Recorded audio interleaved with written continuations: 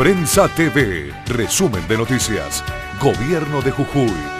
www.prensajujuy.gov.ar El gobernador de la provincia, doctor Eduardo Fellner, se reunió con el intendente de Palpalá, Alberto Ortiz, y la diputada nacional, Mariela Ortiz, para establecer una agenda de trabajo en común.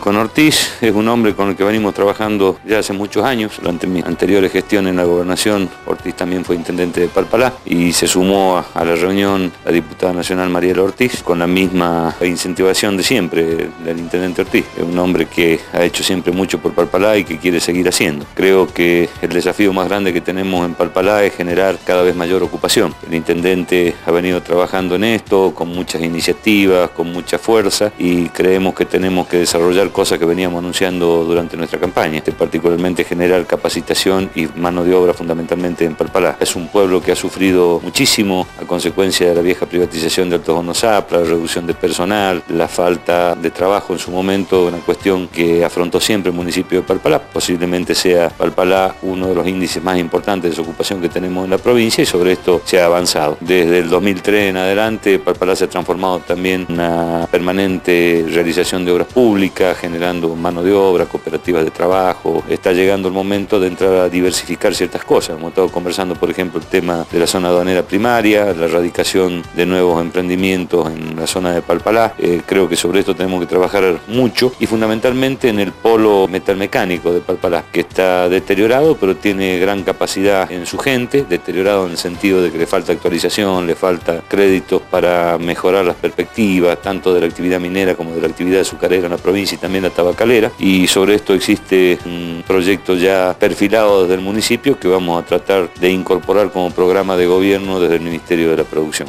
Ratificar nuestro compromiso de trabajar juntos. El destino de Palpalá tiene que estar unido al destino de Jujuy. Dirección Provincial de Prensa y Difusión. Gobierno de Jujuy. www.prensajujuy.gov.ar